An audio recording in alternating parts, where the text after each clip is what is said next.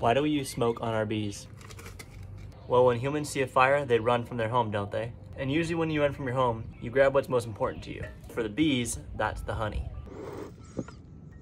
The common misconception is that by putting smoke on bees, it disorients them or confuses them or even harms them. But in reality, we're just simulating a fire. So they smell the smoke, they go back in their hive, they get their honey, they eat it, they protect it, and that keeps all the bees close inside the hive so that we as beekeepers can go around, do the things that we need to do, and then get out. Of course, we try to be careful and not put too much smoke on the bees so we don't alarm them too much, but smoke is a very helpful tool in beekeeping. I mean, if you think about it, we're really just trying to keep the bees down so they don't sting us, and if they don't sting us, they don't die. If you're interested in learning more about bees, subscribe and follow along.